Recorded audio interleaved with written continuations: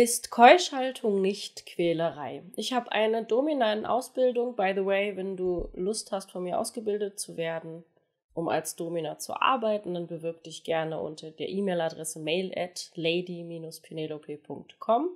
Also ich habe eine Jungdomina in der Ausbildung bei mir und die hat mir die Frage gestellt, ist Keuschhaltung nicht absolute Quälerei?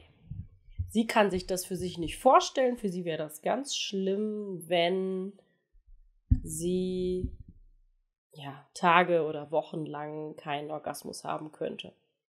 Und um das vorwegzunehmen, bevor ich wieder Kommentare unter dieses Video bekomme von Einzelnen, die am Unken sind und sagen, doch, für mich ist es Quälerei, es ist eine individuelle Sache. Ja? Vielleicht gucken wir uns mal an, warum die zukünftige Kollegin hoffentlich das so sieht und was viele Menschen an Keuschhaltung eigentlich so toll und faszinierend finden. Also, für sie als ja, Frau, die viel Sex braucht oder Lust an viel, auf viel Sex hat, ist es unvorstellbar. Frauen sind da aber auch generell anders als Männer. Also du kannst den weiblichen Körper, wenn es um Sexualität geht, echt schwer mit dem männlichen vergleichen. Ja, es gibt Parallelen. Bis zur sechsten Schwangerschaftswoche sieht das auch genau gleich aus. Ja, also zum Beispiel kannst du überhaupt nicht erkennen, ob es eine Klitoris wird oder ein Penis, weil Klitoris und Penis entwickeln sich bis zur sechsten Woche komplett identisch. Weswegen die Klitoris, by the way, auch genauso aufgebaut ist wie der Penis. Sie hat auch einen Schwellkörper und so weiter und so fort. Man sieht nur nicht, dass sie anschwillt, weil sie im Körper liegt. Penis liegt draußen, deswegen sieht man das. Wissen ganz viele Menschen nicht. Mache ich auch mal ein Video zu. Egal. Ähm, für den Mann hat der Orgasmus eine ganz andere Funktion als für die Frau. Für die Frau ist der Orgasmus, Orgasmus hat ja immer was mit Muskelkontraktion zu tun, das heißt, Muskeln spannen sich an und lockern, spannen sich an und lockern. Ja? Und das führt bei der Frau zu so einem Sogeffekt. Das heißt, die Spermien werden so reingesogen. Kannst du dir vorstellen, wie wenn du an einem äh, äh, Strohhalm saugst das hättest du jetzt gerne, dass ich das mache, ne? Kannst du vergessen. Ähm, nicht hier. Also die, durch den Orgasmus macht es halt ungefähr diese Bewegung und dadurch werden halt die Spermien eingesogen. Deswegen ist der weibliche Orgasmus um ein Vielfaches länger als der männliche Orgasmus. Weil ganz logisch betrachtet, das hier, das Einsaugen, dauert ja länger als das Abspritzen. Ja, also Abspritzen ist zwei Punktbewegungen, zack, raus, Job erledigt, Feierabend. Das ist der Orgasmus beim Mann. Ich sage immer, wenn du eine Frau, die viele schöne weibliche Orgasmen hatte, in den Körper eines Mannes steckst und der einen Orgasmus machst, oder die macht in sich selber, dann sitzt die da und denkt sich, wie, was? Das war jetzt ein Orgasmus? Weil der weibliche Orgasmus einfach, wenn sie ihn dann hat, intensiver ist, länger dauert als der männliche Orgasmus. Deswegen kommen ja viele Männer zu mir und sagen, mach mir bitte mal den Orgasmus intensiver da kommen wir jetzt zum Punkt. Das ist ja die Funktion von Keuschhaltung, weil was passiert in der Keuschhaltung? In der Keuschhaltung haben wir einen Staudammeffekt. Die Erregung baut sich systematisch auf. Das Becken läuft voll. Okay? Wenn ein Mann, der vorher am Tag drei, vier Orgasmen hatte, plötzlich noch einen haben darf in der Woche, dann staut sich diese Erregung ja auf und der Körper denkt, was ist denn hier los? Scheiße. Wir haben nicht mehr drei, vier Orgasmen am Tag. Weia. Jetzt haben wir nur noch eine Chance in der Woche, ein Baby zu machen. Das heißt, wir müssen uns richtig viel Mühe geben. Wir müssen einen Orgasmus machen. Orgasmus ist ja immer das System für alles klar, hat geklappt, wir konnten befruchten. Der richtig extrem ist, damit wir uns sicher sein können, dass es geklappt hat. Deswegen ist der Orgasmus, fühlt sich dann intensiver an. Ganz logisch. Deswegen ist die Funktion von Keuschhaltung, den Orgasmus, den ganz normalen männlichen Orgasmus zu verstärken. Und das empfinden viele Männer so, unabhängig davon, ob man jetzt einen Keuschheitskäfig angezogen hat und das kontrolliert hat oder den Mann dazu gezwungen hat. Ne? Ähm, wenn du mal sieben Tage im Urlaub warst und da nicht nichts gemacht hast, du kommst nach Hause, dann fühlt sich der Orgasmus anders an, als sonst, wenn du es jeden Tag machst. Und um das auch nochmal zu sagen, ja, es ist nicht schlimm, wenn du jeden Tag einen Orgasmus hast, wenn du zwei hast, wenn du vier hast. Das ist alles nicht schlimm. Ne? Ich sage nicht, dass das eine besser ist oder das andere schlechter ist. Es ist nur so, dass es für viele Männer so ist, dass sich der, dieser Staudamm-Orgasmus, der Orgasmus, den wir erreichen durch Keuschhaltung, intensiver anfühlt. Das heißt nicht, dass der schlechter oder besser ist. Der ist nur anders. Okay? Und um das auch nochmal zu sagen, weil wir ja neulich dieses Video über Sexsucht hatten oder Masturbationssucht, Pornosucht. Wenn du dir viermal am Tag einen runterholst und du kommst damit zurecht, dein Leben ist in Ordnung, du kannst arbeiten, du kannst essen, du kannst deinen ganz normalen Alltag nachmachen, dann ist das nichts Schlimmes. Solange du nicht leidest, ist das für dich normal. Okay?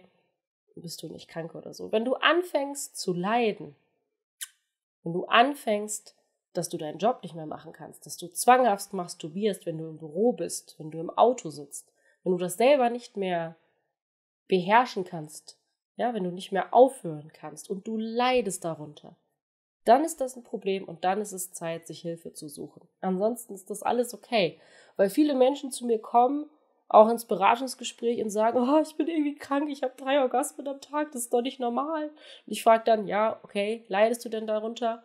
Also ist das irgendwie schlimm für dich? Nee, aber, aber das, das machen doch alle anderen nicht, oder? Ganz ehrlich, ich habe auch Tage, wo ich mir fünfmal am Tag einen runterhole. Hey, so what? Solange ich noch, ähm, keine Ahnung, meinen Alltag irgendwie gewuppt kriege, ist doch alles gut. Warum nicht? Und dafür gibt es Tage, wo ich gar keinen Bock habe. Das ist alles total normal. Also lass dir nicht von irgendwelchen Leuten einreden, dass du krank bist oder so, okay? Und krank ist immer nur derjenige, der anderen irgendwie wehtut, sie negativ beeinflusst, der sich selbst schadet, der gegen Gesetze verstößt oder der in irgendeiner Art und Weise ein Problem damit hat. Alles andere ist, okay, lass dir nicht deine Sexualität von irgendwelchen Ratgebern oder Zeitschriften bestimmen. Das ist alles Bullshit, die Leute kaufen das nur, weil man ihnen suggeriert, dass sie irgendwie falsch sind. Und dann muss man das ja richtig machen und deswegen muss man dann A, B, C, D, E kaufen. Das ist jetzt egal, ob es eine Zeitung ist oder diese blöden Geräte, wo man angeblich den Penis vergrößern kann oder Pillen. Ganz ehrlich, das brauchst du alles nicht, wenn du akzeptierst, wer du bist und dass es okay so ist, wie es ist. Und wenn das nicht geht, dann musst du dir Hilfe dafür suchen. So, großes Abschweifen. Faden verloren, verdammt. Gucken wir mal ins schlaue Notizbuch.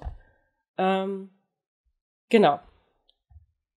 Was ich glaube, die Kollegin also ich habe sie dann gefragt, was bedeutet denn für dich Keuschhaltung? Also wie bewertest du das? Für dich, nur für dich.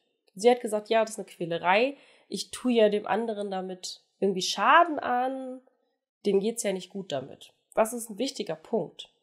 Keuschhaltung bedeutet nicht, jemanden zwanghaft irgendwie da reinzupressen und den wochenlang keusch zu halten und ihm nichts zu erlauben. Das ist nicht das Game.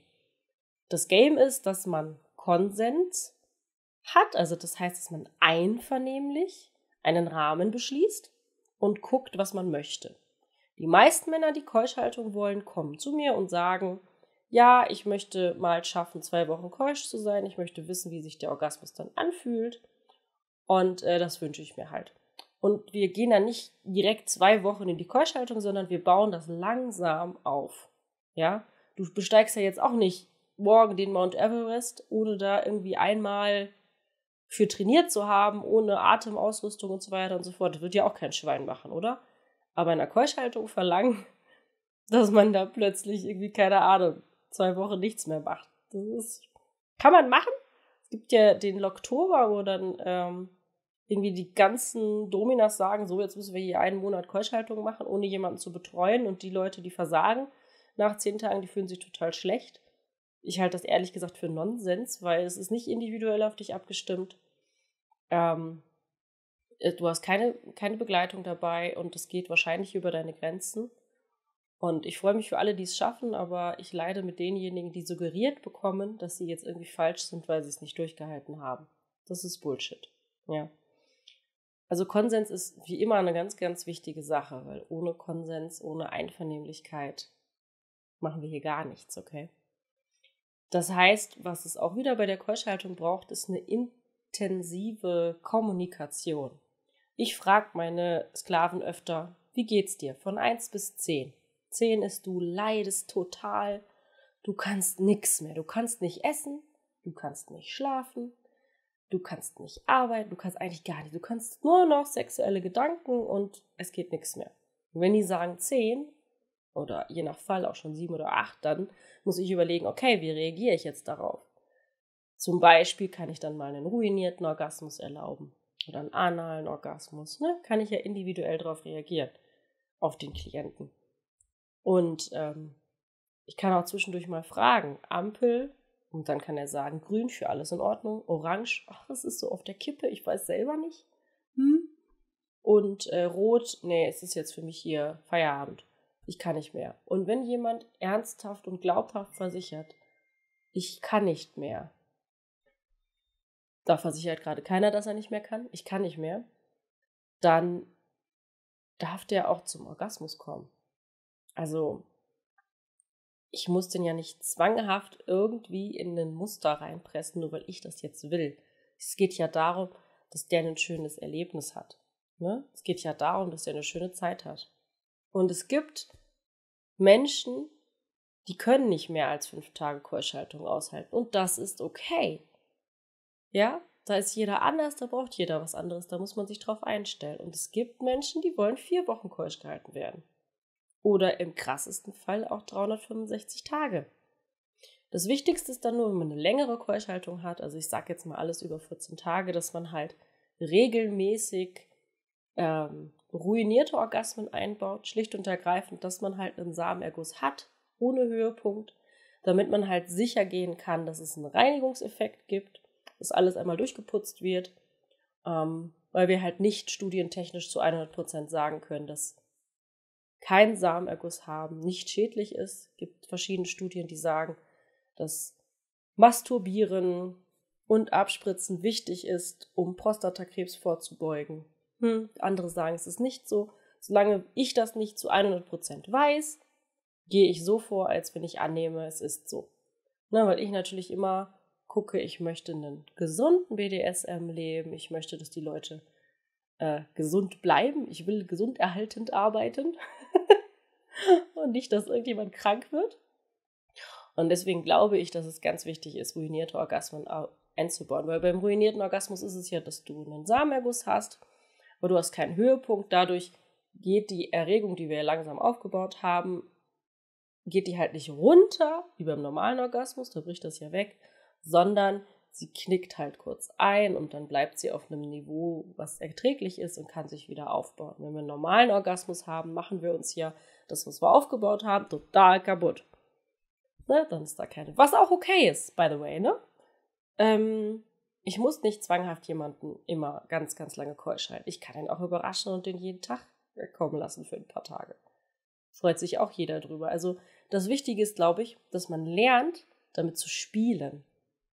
Dass man ähm, ein Gefühl dafür entwickelt. Hey, was tut meinem Gegenüber gut? Was tut mir auch gut als Domina? Ich soll ja auch Spaß daran haben. Ne? Und ähm, wie finden wir beide da zusammen einen Weg? Das ist Keuschhaltung.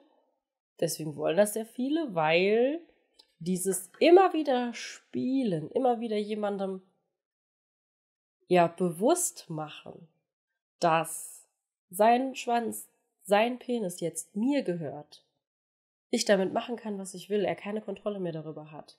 Das ist das, was extrem viele Männer an Keuschhaltung erregend finden. Und das ist das, womit ich spielen darf und womit dann hoffentlich auch die Jungdomina spielen darf, wenn sie es richtig verstanden hat. Weil Keuschhaltung bedeutet nicht einschließen und vergessen, sondern Keuschhaltung bedeutet jeden Tag daran erinnern, wer alle Kontrolle hat, wer alle Macht hat. Und das ist die Domina.